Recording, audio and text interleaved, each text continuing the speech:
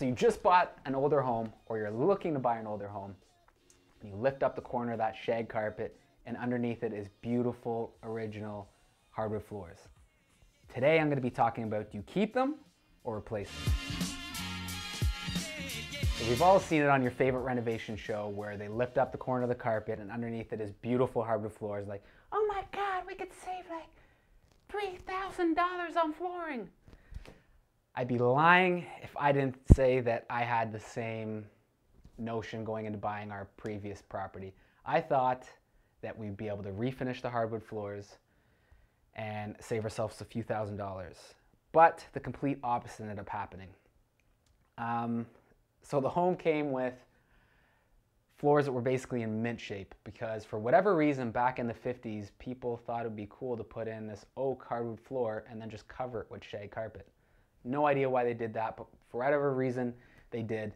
So we thought we'd be able to refinish the floors, save ourselves some money, and reuse them. Uh, so we ended up doing that. We got them resanded.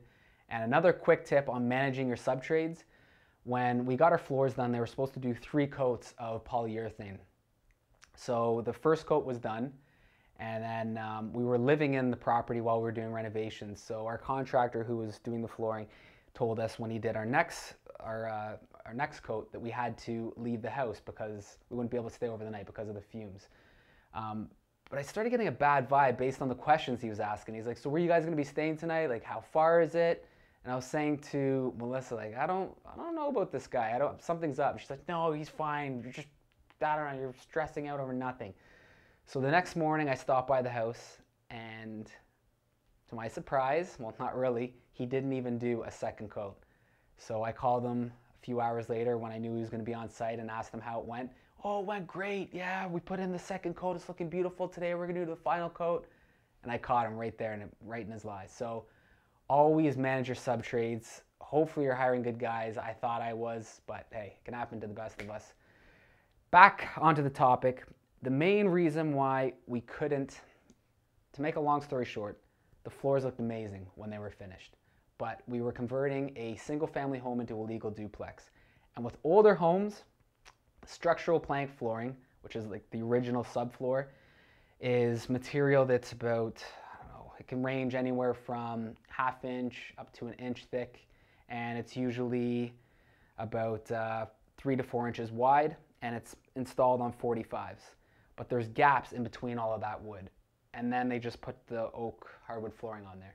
And it was nailed down. So there's lots of squeaks that's one thing that was super annoying, especially when you get up to go to the washroom in the middle of the night. You're tiptoeing around trying to avoid the spots where it squeaks. And also the sound transmission from the unit below upstairs, even with proper drywall, two layers of safe and sound, and resilient channeling, we could hear a lot of noise.